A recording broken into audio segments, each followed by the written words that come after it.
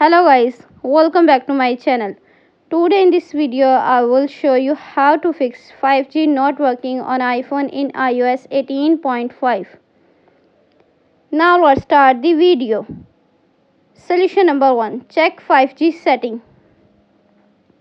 Open the setting app on your iphone.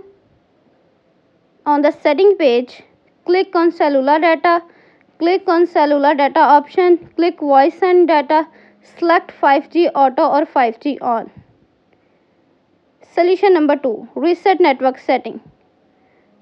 Open the setting app on your iPhone. On the setting page, scroll up, click on general. On the general page, click on transfer reset iPhone.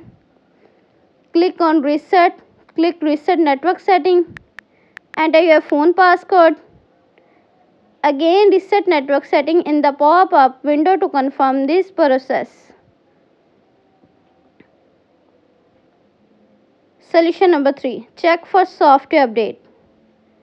Open the setting app on your iPhone.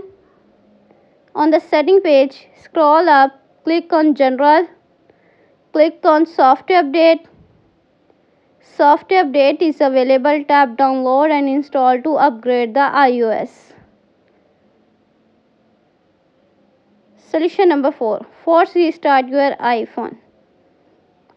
Quickly press and release the volume up button. Quickly press and release the volume down button. Press and hold the side button until the Apple logo appears. Release the button when you see the Apple logo. Thanks for watching this video.